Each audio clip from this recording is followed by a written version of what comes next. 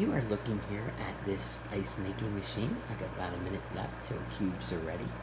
Um, I like the all stainless steel design.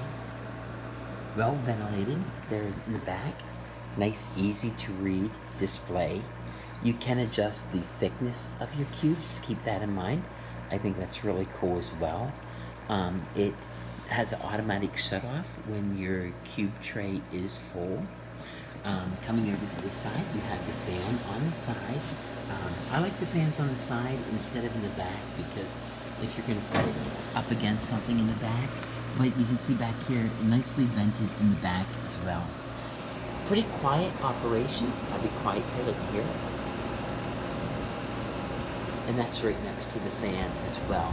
Um, it does come with a scooper here, as you can see.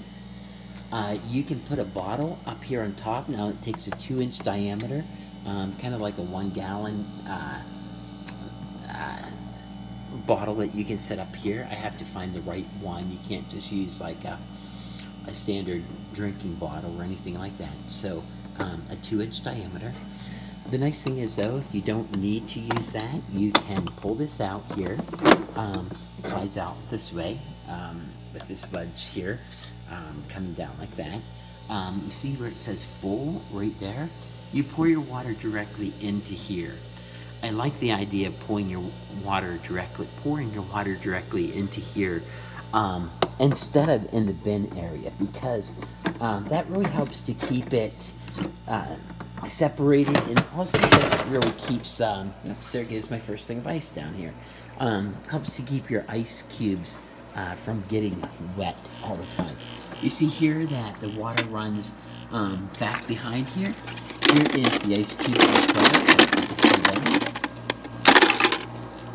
That's what they look like. I can increase the thickness of these. These are little hollow here. Um, these are the first batch here too. Um, so that's what they look like. I think they look good.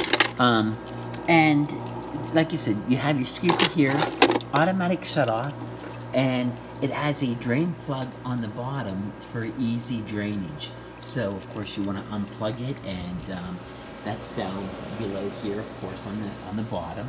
So you just pull the plug, you put that back in. Um, I really like the flip uh, cover here as well. I think that's a nice touch on it as well. Um, you can set your, your timer and, and, things like that if you so desire.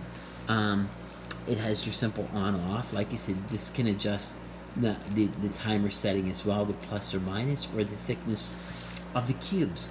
Um, and it comes with a very uh, clear, direct uh, instructional manual here uh, that tells you um, exactly what to do um, with some diagrams as well. This is in English, so keep that in mind. Um, and it even has your troubleshoot guide if you ever need it. So, um, I'm very impressed with this. I love how the water is separated from the cubes, not sitting down on the bottom down there. Um, so I, I, really like the reservoir thing up here. I really like how I, I can set a bottle up here. Um, I don't have to run a direct line, so I can set this anywhere and have it work. And as I mentioned before, the stainless steel is a really nice um, touch. Looks great on any countertop. Um, I like this because of our uses is going to be um, in the summer, especially. My freezer does not make, um, does not have automatic ice cube thing, and doing the trays was just too much of a hassle. Um, so this is going to come in very convenient for that. Um, so yeah, this is this is the the ice cube maker. Now, if you know some of the basic stats. This can make a lot of ice, by the way. You can make 45 pounds of ice cubes a day by running this continuously. Um, 24 cubes in 13 minutes. Um, the two ways to add water up on top, as I explained to you. And the basket size holds about 2.5 pounds. So, um, you know, I think that's more than sufficient. And I'm very impressed with this ice maker.